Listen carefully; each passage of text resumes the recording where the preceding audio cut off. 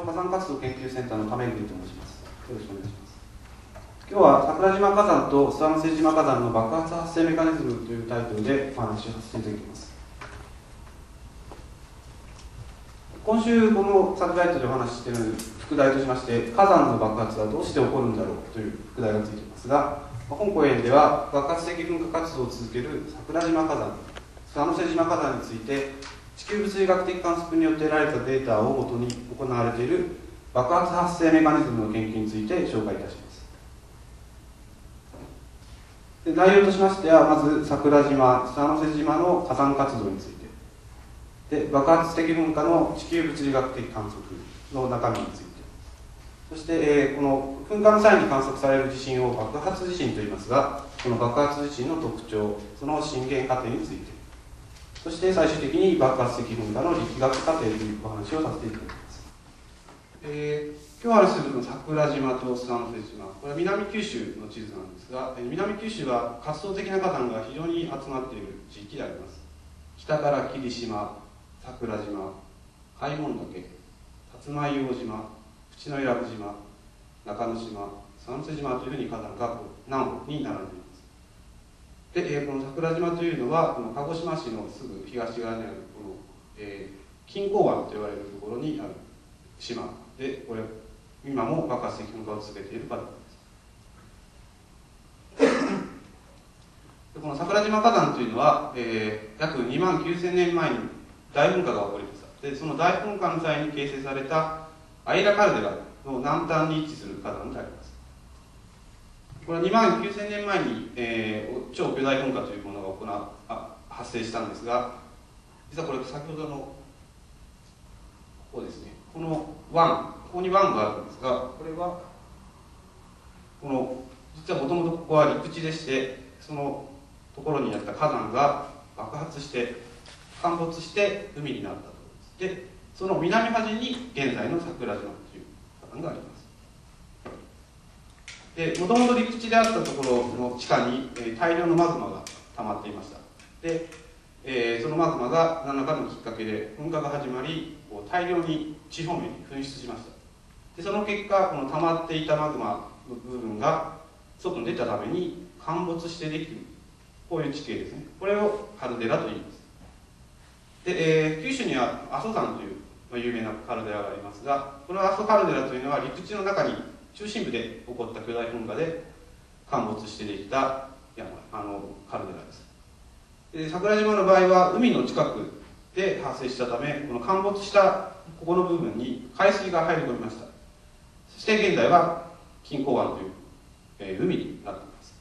でその南端に現在あの桜島で活動が続けています。えー、そして、えー、桜島火山は、まあ、頻繁に溶岩流出を繰り返しています。1914年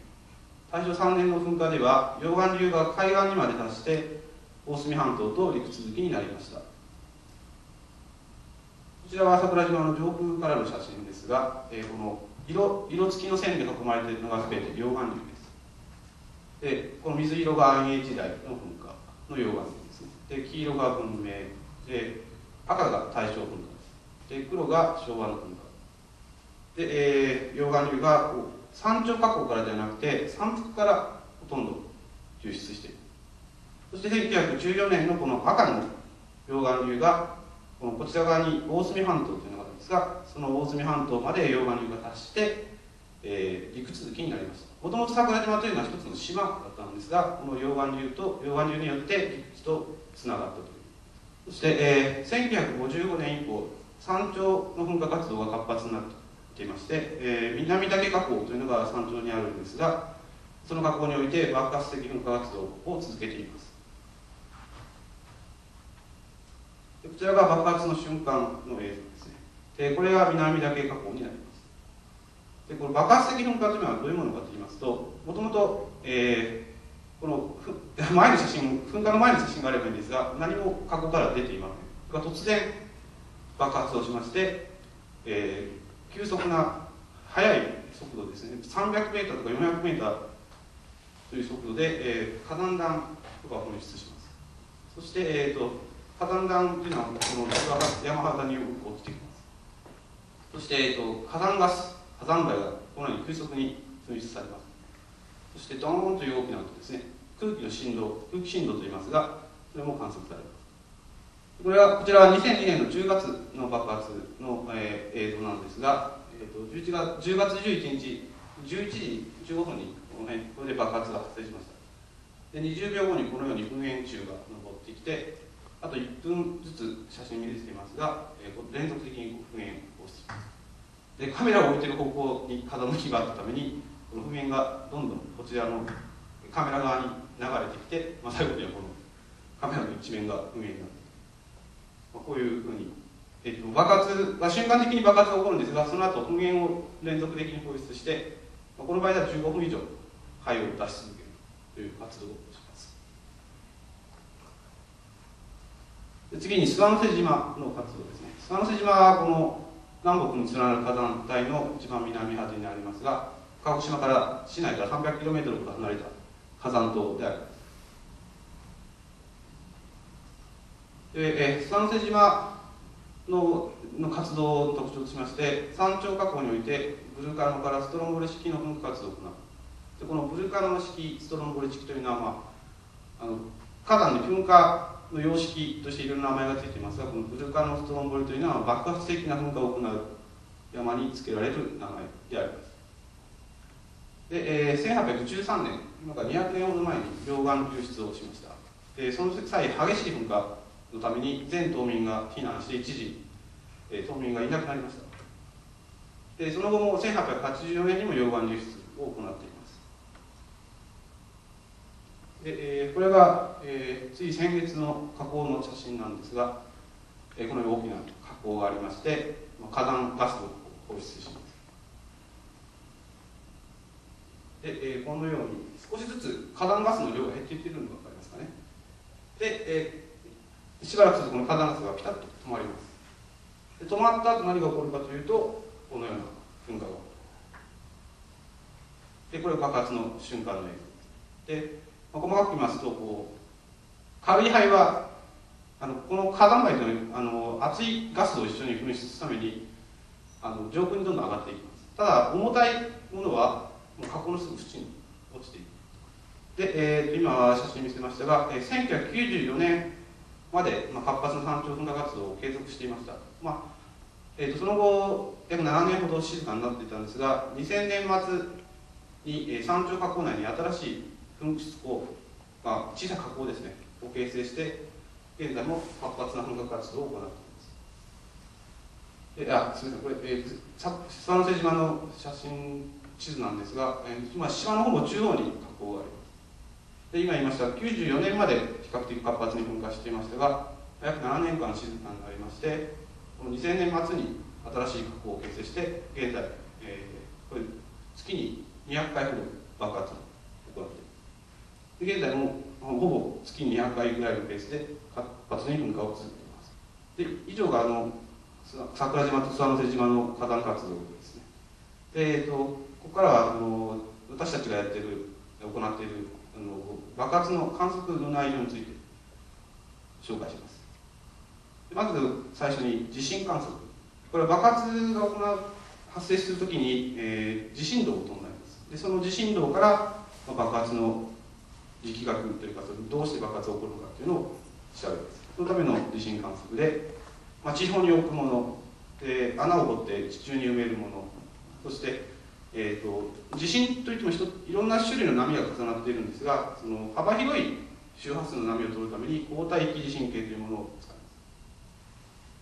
す。であと地盤変動活これは爆発が発生する前と前後ですね。その山自体がどのような動きをするかという意味で、えーと、山の傾きを測る傾斜計山の伸び縮みを測る伸縮計水準測量で高発力というまあ、こちらはちょっとあの今回の話でないのでちょっと説明はできます。あと爆発の時には大きな音と衝撃、まあ、体感できるような衝撃を感じます。でそれは空気の振動なんですがその空気の振動を観測することを行っています。でこれは低周波マイクロフォンと言われるもので、まあ、人間で感じる衝撃とあと人間では感じられない長い波やあのもっと短い波の周期の、えー、空気振動を観測で先ほど写真でお見せしましたが映像。映像からもいろいろと爆発の情報を得ることができますので映像観測で、まあ、ここから下はちょっとあの、まあ、今回の中にないんですがあの、まあ、長期的な動きを見るために GPS 観測あと電磁気観測火山ガス観測調理観測などを行っています、まあ、今回話するのはこの上の方の話です。えーと、じゃあまあ桜島の観測の内容からお知らせします、え、こちら桜島島内の地図ですね。で黒丸が、えー、地震観測点です。で、えー、島内に10点地震を観測する設備を設けています。えー、あすみません。黒丸は地中にメートル地震計で深いところになると地表から300メートル穴を掘ってその中に地震計を入れています。で、えー、穴を掘って観測する目的としては一つは人工的なノイズを避けるということとその深い位置に地震計を持っていくことによってその火山の中で起こっている地震をより正確につかもうという意味を込めて、まあ、深い穴を掘ってそこで地震観測を行っているあと四角が、まあ、地表に置いている地震計の観測点でこちらの三角が今の活動している南崎火口で南崎火口を囲むように、えー、10点の観測点を設けています次に地盤変動観測ですが、えー、桜島島内の春田山というところにトンネルを掘っています。でこのトンネルの中に、えー、先ほどお話しした傾斜計とか伸縮計という山の、えー、膨張収縮を測る機械を入れています。で、えー、この爆発が発生する前にはこのマグマが上昇していてその山が膨らみます。でその膨張収縮を測るための機械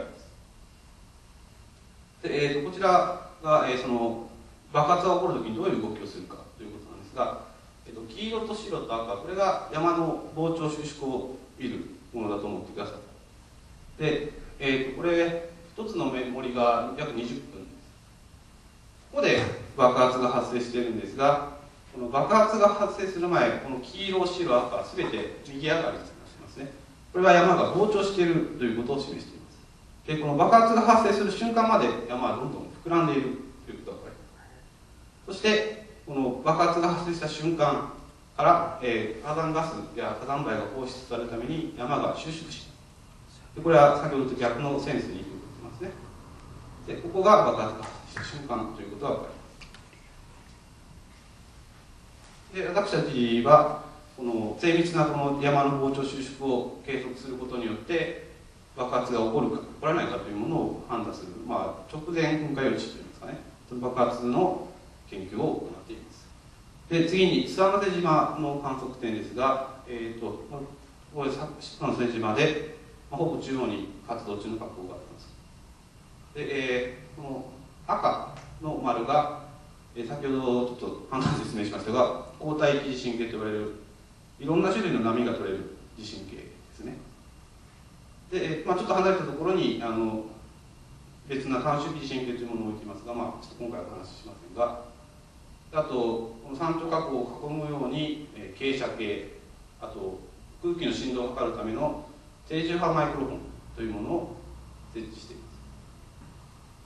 す。で、えー、こちらが拡大火口付近の拡大ですが、え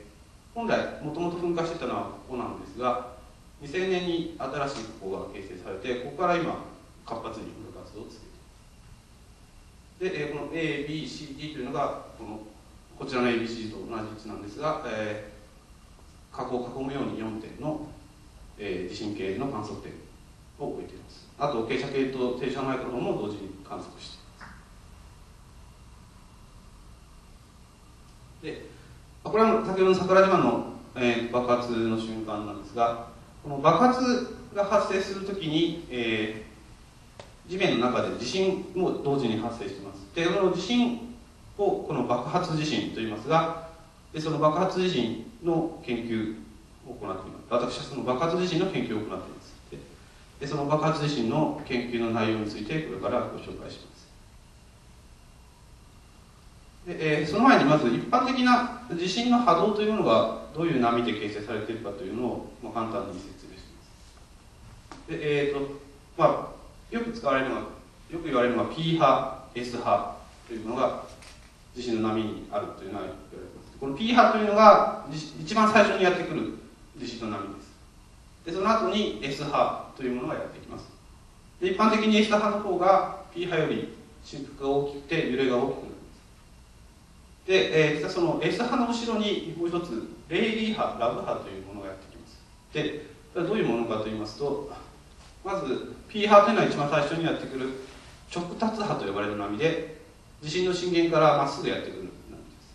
す。でその後に S 波がやってきてで今のこのレイリー波ラブ波というものはどういうものかというと実はこれは表面波と呼ばれるもので、まあ、地表面を伝わってくる波です。で、えー、よく震源が浅い地震ほどこの表面波というものは地表に近い場所で地震が起こるために表面波というものは大きくなりますで、えー、まあ、詳細は省きますがあの地震の種類としてまず P 波 S 波でレイリ波ラブ波この4つがあるというのをご紹介しておきます。で、えー、こちらが、えー、桜島の爆発地震の実際の波形でありますで、えー、爆発地震の特徴としまして、えーと、これは上が、えーと、地表の上下の波になります。つまり、えー、このこの中心の線に対して上に揺れれば地面が上がる。下に揺れれば地面が下がる。ということです。で、えー、この R というのが、えー、ラディアル成分と僕らが言ってるもので、えーと、水平方向の揺れなんですが、えーと、この中心の線から上に上がると、えー、震源から離れる方向にやってくる。震源から押されてやってくるでこの中心から下に下がると震源の方向に地面が動いているということでこの T 成分というのはこの震源と観測点に対する直行の方向の成分ですちょっと今回私のお話ではこの V という上下の動きと R という震源の方向の動きというのが重要になってきますので、まあ、この V と R について重点的にお話します。で、えー、桜島の、えー、爆発地震。で最初の波というのは P 波なんですがこの地面が上がって火口から離れる方向に火口から押される方向に波がやってきます。で、えー、次にそれとは全く逆の方向に地面が下がって震源の方向に動く波がやってきます。そしてその後にこの大きな振幅の波がやっていくんですがここは LP ロングピリオドという意味で LP という名前を付けてますが、まあ、振幅が大きくて、えー、周期の長い波がやってきます。でここでちょっと便宜的に、えー、最初の波を P 層で次に大きく引く引いてくる波ですね。これは D 層そして長周期の波を LP 層と呼びます。で、えー、こちらが、えー、桜島島内の、えー、5, つの5つの観測点の、えー、地震の波の速度を見たものです。でまずこの P 層について着目しますとと P 層というのは 2.7km 毎秒という非常に速い速度で波が伝播していっているということが分かります。でこの次に大きく引く引く波ですね。D 層についてもこの P 層とほぼ同じ速度で波がやってきているということが分かります。つまり P と D というのは同じ波ということが分かります。しかしこの次の大きな長周期の波 LP 層というものはこの P 層 D 層と比べて、まあ、やや遅い半分ぐらいの速度ですね。でやってきているということが分かります。で、えーと、こちらはですね、えーと、その地震の波がどういう動きをしているかというものをお見せしますが P 層 D 層というものは、非常に直線的に動いている。それに対して LP 層というものはちょっとここから始まるんですがこういうふうにそうなんですこういうふうにですね楕円振動します。明らかにこの PD の動きと LP の動きというものは違う。で、えー、とこちらはですね、えー、と各 P 層、D 層、LP 層の、えー、と振幅についての情報なんですが、えー、観測点によって振幅がどんどん変わっていく、まあ、震源から距離が離れればどんどん振幅というのは小さくなっていくんですが振幅が小さくなる割合を見たものですね。で、えー、この R 分の1ルートデルタ分の1というあの分数を示していますがこの R 分の1というものが、えー、P 波の距離減衰を示したもの。でこの線がその R 分の1の理論曲線というものです。でこの点線が、えー、表面波の距離減衰を理論的に計算したものがこの点線になります。で、えー、P 層 D 層 LP 層のですね、えー、実際のあるある距離における振幅というものを見てみますと P 層 D 層というのはこの R 分の1という曲線にですね非常によく乗ります。それに対して LP 層というものはですねルートデルタ分の1というこの議論曲線。で LP 層に関してはこのルートデルタ分の1に非常によく一致する。ということででこれまでのその先ほどのものをあのまとめてみますと P 層 D 層というものは P 波。これはあの直線的に振動するというものと,、えーと、距離減衰が P, P, P 波の理論曲線に非常に一致するということで P 層 D 層というものは P 波。で LP 層というものはレーリー波。これ表面を伝ってくるんですね。っていうことが分かります。で、えー、ちょっと今回紹介してないんですが P 層に関しては震源決定を行ってみますと、まあ、河口直下 2km で深いですね。深いところに震源があるということが分かります。で D 層に関してもこの P 層と、まあ、ほぼ同じ位置になります。で LP 層というものはですねあの長周期の波で非常にまあ震源決定難しい波なんですがまあ、これはあのちょっとブリッドサーチという言葉を使っていますがあの震源決定に関してはできないのであの火口周辺にですねいろんな点を仮定してですねここで地震が起こった場合ここで地震が起こった場合というにいろんな点を仮定して観測されている波をですね最もよく説明できるところを震源というふうに見つける方法なんですがでこのブリッドサーチで後で決定したものをお見せします。で P 層 D 層に関しては波高中間2キロというやや深いところに震源があるということが分かってきました。でいよいよその震源の位置が分かったので今度はじゃあ震源でどういう力がかかっているのかというものを求めていこうということなんですがで一般の地震というものはですね断層というものがありまして断層がこういろんな方向にずれ動く時に地震の波が発生します。で、えーと、震源のですね力のかかり方を9つのあのテンソルというもので、えー、僕らよく使うんですがでこのテンソルの割合を見てそのどういうふうに地面があ断層が動いたかというものをあの計算します。で、えーと、この緑で緑の線ですね囲んだものが断層運動の種類でで正断層と言われるもの横ずれ断層と言われるもの逆断層と言われる3つのタイプの断層運動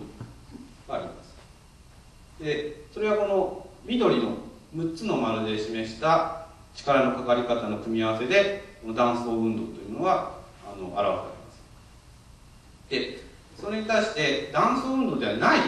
地震の起こり方というものがあります。まず一つが、えー、東方膨張と言われるの。で震源が断層みたいに面がある断層面が動くのではなくて震源でこう膨張する動きですね。あとこの、まあ、円筒方向の、まあ、パイプのようなものがあってそのパイプの中で膨張した時とかいうその膨張とか収縮とかいう体積変化を表すものがこの赤丸で囲んだこの3つのコンポーネントで表しますで、えーまあ、先にちょっと答えを言ってしまいますと火山で起こるその爆発の地震というものはこの赤で示した体積変化を伴うような力のかかり方というのがほとんどになってきます。で、えーとまあ、この赤丸で囲んだ力のかかり方というものをこれから紹介します。でそのじゃあ先ほどの9つのモーメントテンソルというものをどうやって求めていくかということなんですが、えーと、観測されている爆発地震の波形からですね理論的な地震の波形を作ってやってでその観測波形と合わせてやります。でどれが最もよく波形を説明できるかというやり方であの9つのモーメント点数というものを決めていく。で、えー、桜島の爆発地震の場合 P 層 G 層 LP 層という3つの主な位相があるんですがまずこの P 層の、えー、モーメント点数を求めてやってその P 層計算された P 層を出てきます。で次に G 層を計算してやってで次に最後に LP 層というものをどんどん計算していくというやり方です。で、えー、こちらがまず P 層 D 層のあの答え結果なんですがえー、っとですね黒の実線が観測された波形。で点線が計算された波形でまあちょっとどう見てもいいかあの人によって見方が違うんですが、まあ、これはよくいあの観測波形と理論波形が回っている方なんですね。で、えーと、得られた、えー、モーメント点数。がこちらになってこの6つ並べていますが上3つがですね体積変化を表すコンポーネントあの成分です。で、まあ、数値見てみますと1番というのは P 層に関してなんですがえっ、ー、とこの上3つがですね非常に大きな値を持っていて下3つは小さいですね。でこの上3つというのが体積変化を表す成分で下3つというのが断層運動を表す成分なんですが、まあ、上3つ体積変化を表す成分が非常に大きい。でしかもこの上3つのですね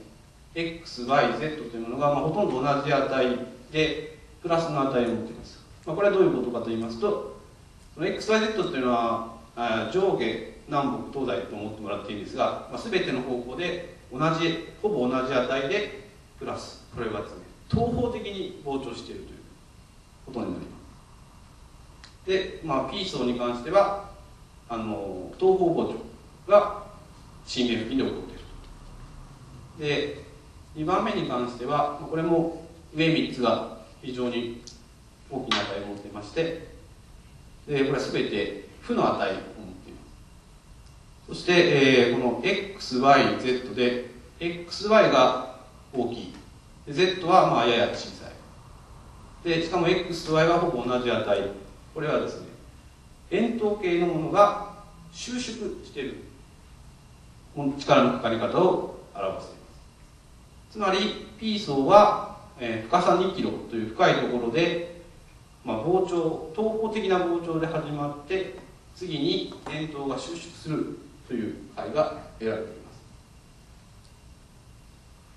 すで次が、えー、LP 層に関してなんですが、まあ、LP 層、まあ、波が2つあるように見えますで、まあ、最初の波と次の波2つに分けて計算しています。で、最初の波に関しては、えー、この上3つが大きくて下が小さい。でしかも全て正で同じ値。これは先ほどの東方膨張というものになります。で次に、えーと、この2番目の波ですね。に関しては、えーと、今度は上2つだけが大きい値を持ってるんですね。で XY これは大きい値です。でしかあこれは負の値を持っている。で上2つだけが大きい値というのはどういうものかというと円筒ではなくて今度はもう単なる水平だけが縮む回なんですね。で、えー、先ほど LP 層に関しては震源決めるのが難しいので、えー、理論的に波形を作ってやって、まあ、どの深さが一番観測波形を説明できるか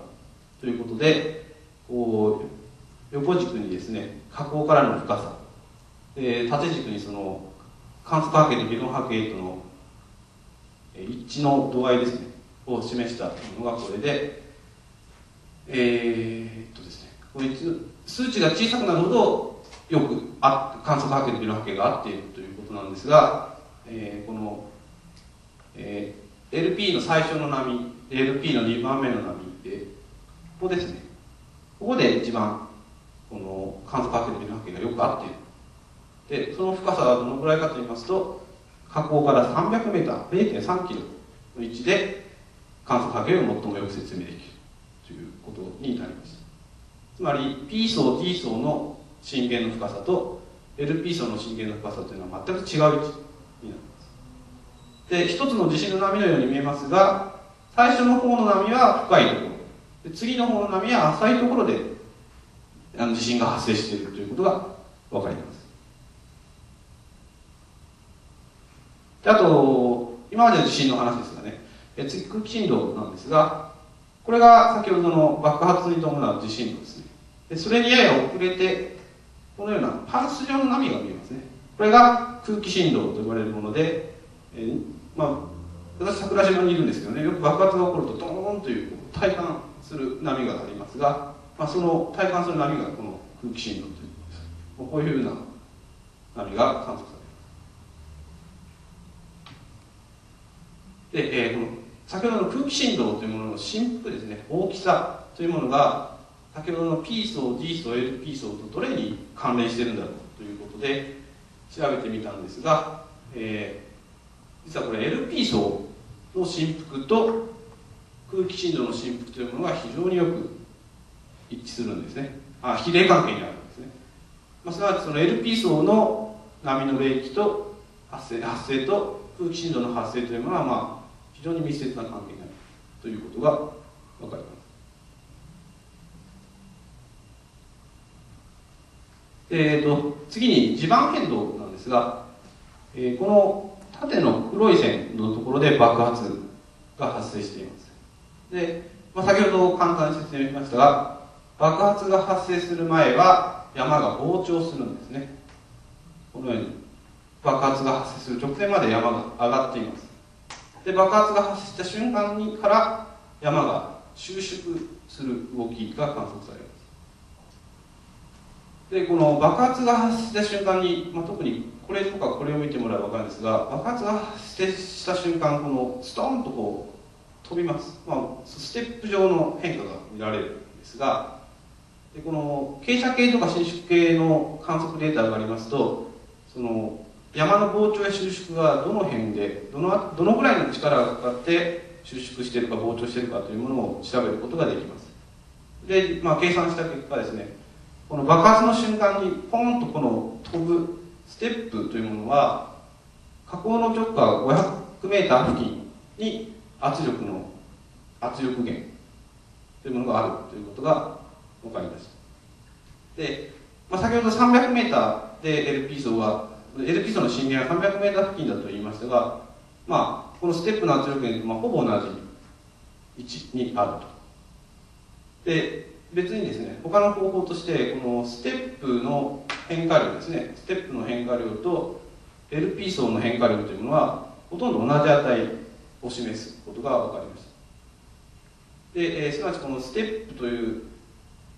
あの圧力の変化というのは、LP 層の発生と、まあ、非常にこれは密接な関係になる。ということが分かりましたそれで、えー、桜島のですねあのじゃ爆発がどのようにして起こっているのかというものを今まで紹介した地震と空気振動そしてそのステップというものから、まあ、総合的に見たものがこの図になります。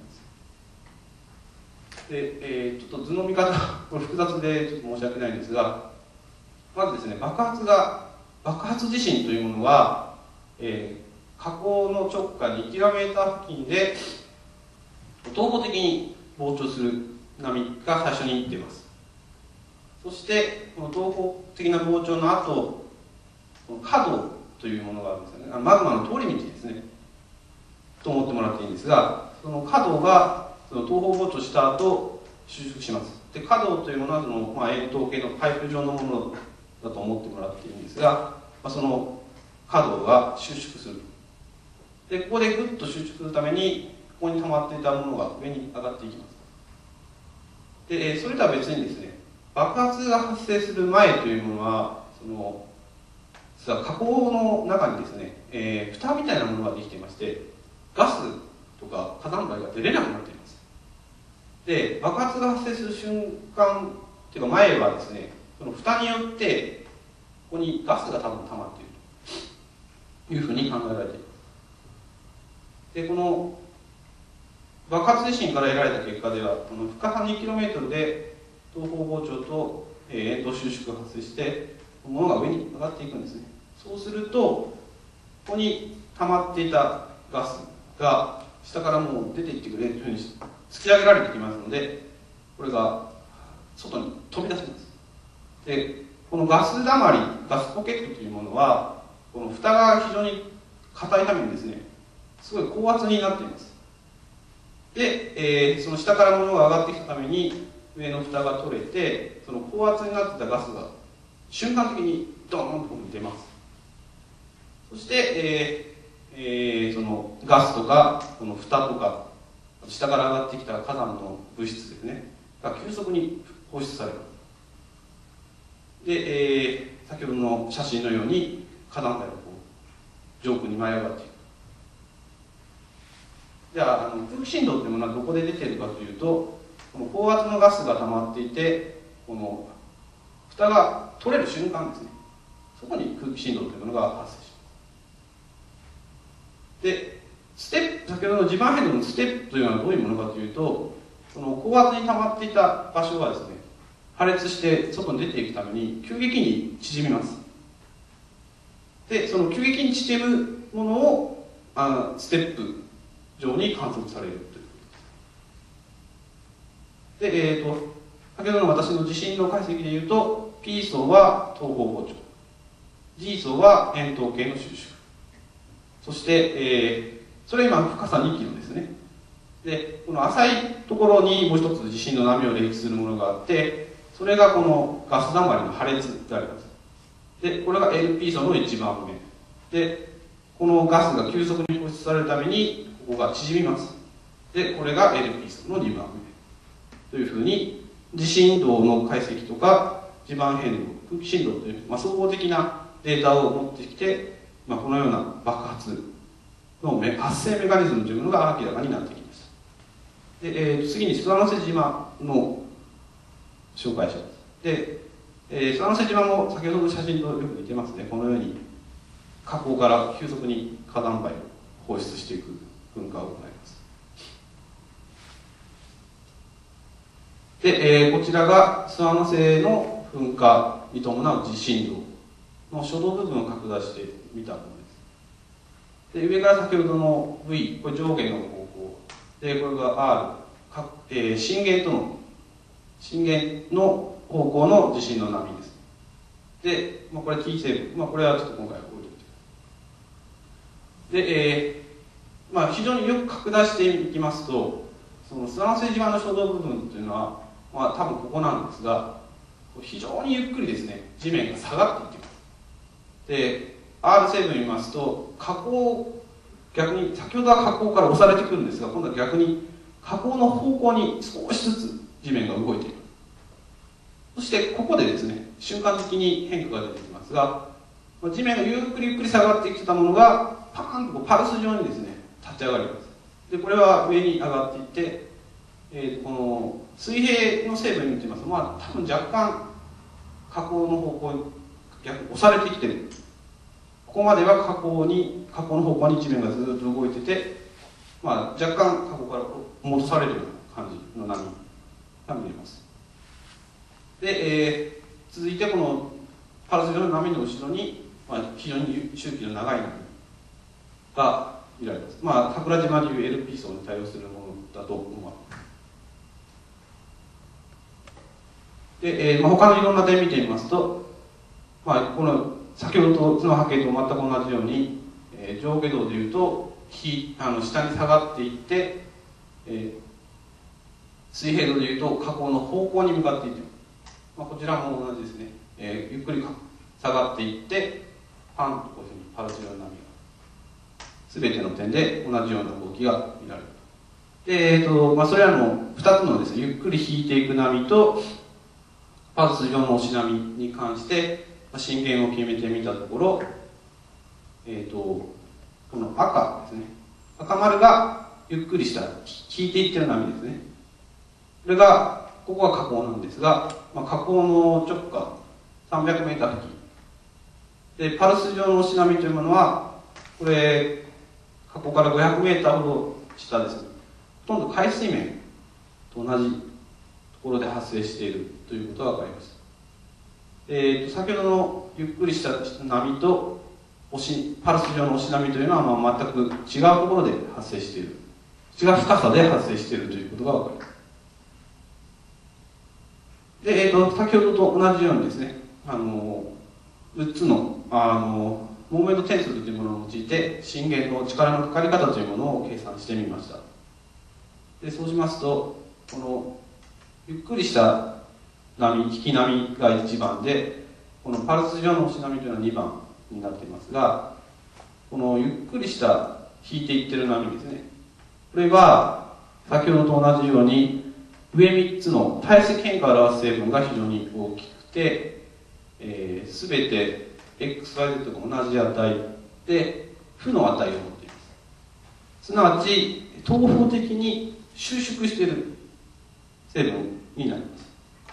でそれに対してこのパルス状の押し波というものは先ほどと同じように上3つが大きいんですが今度は Z 成分だけが大きいんですね。でこれは、えー、延直方向上下方向に引っ張られる力がかかっているということが分かります。で、えーと、スワロス島の地震の初動部分の震源過程というのはどういうものかというと、えー、河口の直下ですね200から300メーター付近で東方的に収縮する。でその東方収縮が発生した後ですねあ収縮している最中にこの深さ500メーター付近でこういうふうな延直方向上下方向に引っ張られるような力がかかっているということが分かります。で、えーと先ほど最初の方に写真でお見せしましたが諏訪之瀬島の噴火が起こる前というのはですね火山ガスの放出がどんどんどんどん弱まっていって最終的にガスの放出が止まった後に爆発が発生します。すなわち桜島でも説明しましたがおそらくこのような火山火口の中にですね蓋ができて、えー、中にガスが溜まります。そしてそのガスが耐えきれなくなって破裂する瞬間に爆発が発生している。というふうに考えられています。でもう少しちょっと詳しくそのためガスを溜めていく過程と放出する過程を見てみますと、えー、これが、えー、諏訪の瀬の山頂を囲むような4点の地震の波形で交代期地震計という周期の長い波まで取れる地震計で取った波形です。でこの細かく振動してるこれがですね先ほどの爆発地震になります。で、えー、この爆発地震がここで発生していますね。これは爆発が発生した瞬間です。でこれ上下の地面の動きを見てるんですがこの爆発が発生する瞬間まで地面はどんどんどんどん上がっていっています。これは C 点つわの瀬の C 点で D 点 A 点 B 点なんですが爆発が発生する瞬間まで、えー、こういうふうに上がっていってますね地面が。で、えー、火口に近い観測点ほど大きく上がっていっています。すなわちその爆発が発生する前まではそのガスがどんどん溜まっていって山が膨張しているということが分かります。そして爆発が発生した瞬間にガスが放出されるために地面が下がっていきます